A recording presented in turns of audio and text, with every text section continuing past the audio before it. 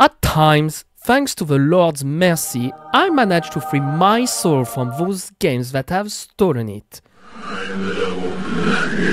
So I end up wandering in the depths of Steam, searching, sometimes for hours, for the spark in the darkness. Very positive. It's a space sim. It has exploration and even VR. It's the real Santa! Praise Jesus! So today I want to talk to you about this little gem that is Evochron Legacy. Creating your pilot profile, you will be given the choice to choose a starting role in the game. They are pretty self-explanatory, except for Mercenary, which is a little misleading as it starts with no special equipment, but with more money than the other roles. I was of course tricked and chose Mercenary, thinking it was for bounty hunting. Thankfully, there is a well-detailed tutorial available in the game that explains how to operate the ship, and after completing it, I launched myself into the game. You will need to spend around one hour just to learn to fly your ship efficiently in this game, because it's far from being easy, believe me. So, okay, so this button for navigation, okay, what about this is shooting, what about this? No, no, no, no, no! Like me, you will have to spend some time in the K configuration menu.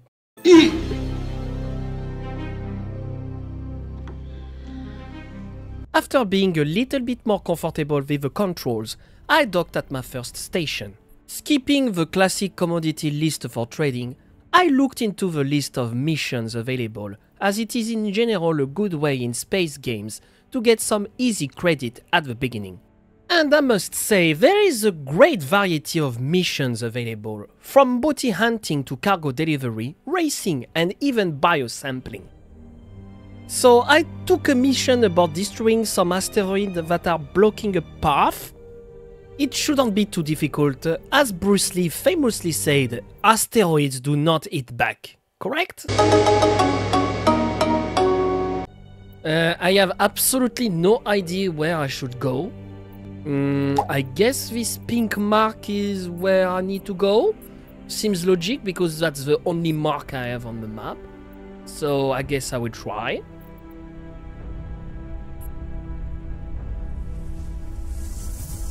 Contract objectives failed.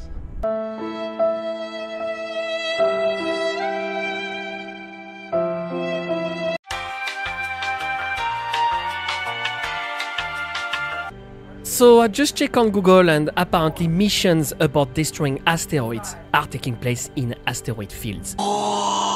It sounds logic, so I guess this one is on me. So the asteroids are there, so I guess it's pretty forward and I just have to shoot them? It seems I need to get closer. So am I close enough now? I'm not sure my shots are doing anything. Oh yes, look! The asteroid is getting red. And now it's exploding. Very nice. Asteroid 1 of 20 destroyed. Okay, so it's pretty simple. The flight system in Evochron is based on Newtonian physics, Yes, science! requiring significantly more anticipation and precision for maneuvering compared to the World War II style plane movement models often found in more arcade-like space games. Oh, I'm coming too fast, I'm coming too fast! To the right, to the right! Uh, I dodged it! well, that's a bummer. After this unfortunate failure, and to stay in the theme of asteroids, I delve into asteroid mining. Evochron mining is a classic endeavor with some exquisite side features. You require a mining beam to extract precious ore and materials from space rock to sell them. However, like any game that doesn't hold your hand, you must stay sharp to avoid disaster. Now that my cargo is full, I need to find a place to sell my stuff. There is an economy system in the game, and I should be able to find on the map which station offers the best price. I have no idea where I can find the info. I guess I will have to ask Google again. What what what is happening? Misa, what?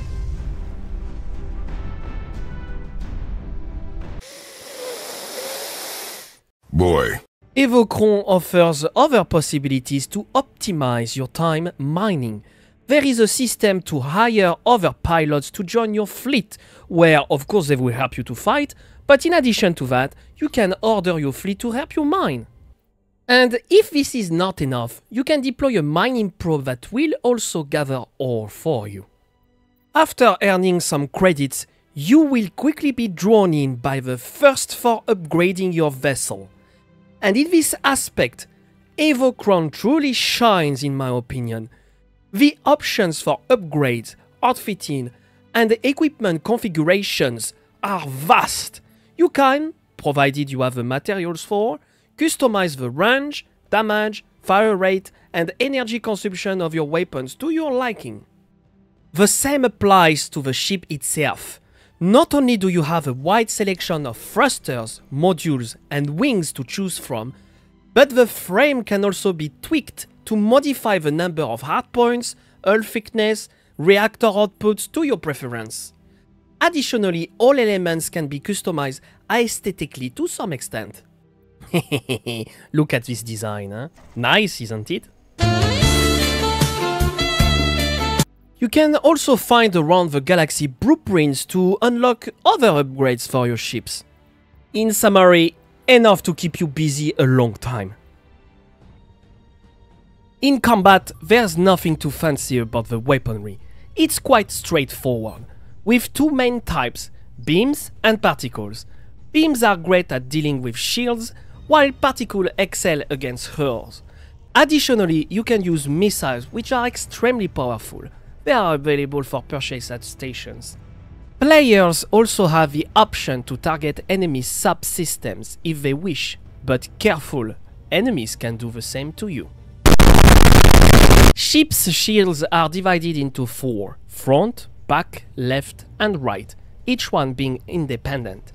You can manage to transfer energy from one side to another instantly. There is even an option to distribute shield equally to all sides.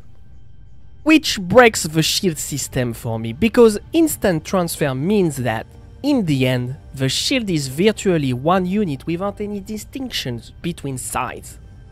Indeed, why would you ever let one side without protection? In my opinion, it could benefit from some reworking. Technical aspect aside, the feeling of combat is okay. Not the greatest I had from all the space game I played, but it is enjoyable. Not great or terrible. Moving on from combat, for a much more relaxing gameplay experience, Evochron also offers the opportunity for station building. Various modules are available, each providing its own stats and function, similar to any NPC station. Only one resource is necessary, metal, which can be either bought or mined.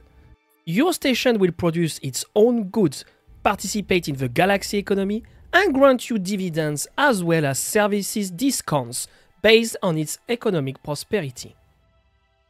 Additionally, you'll need to construct shield modules and defense turrets to protect your station from attacks by hostile factions.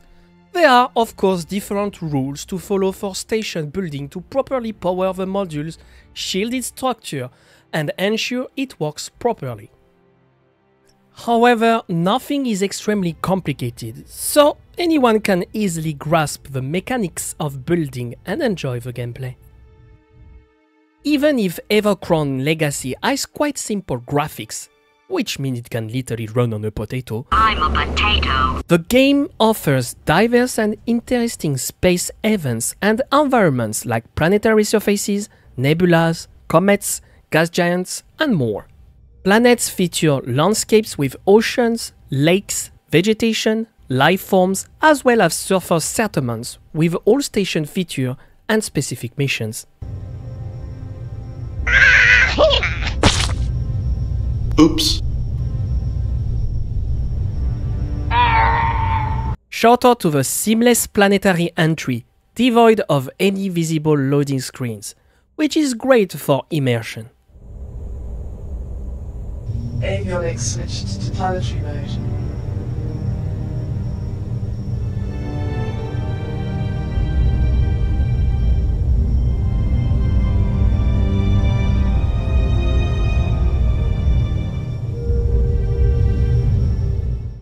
Evochron offers much more content than what was described in this video and is, without a doubt, a great game. It also features multiplayer, but unfortunately, since I have no friends to play with, I haven't been able to try it out. Hello, darkness, my old friend. The game provides a full VR experience compatible with most common headsets on the market. Thanks to its simple graphics, it runs smoothly even on older or weaker computer setups. The game is fully compatible with HOTAS, with my Logitech X56 HOTAS setup, including its thrust lever and rudder pedals, I had no issue playing the game. Evochron Legacy was developed by only one person, which truly astonishes me considering the depth of its mechanics.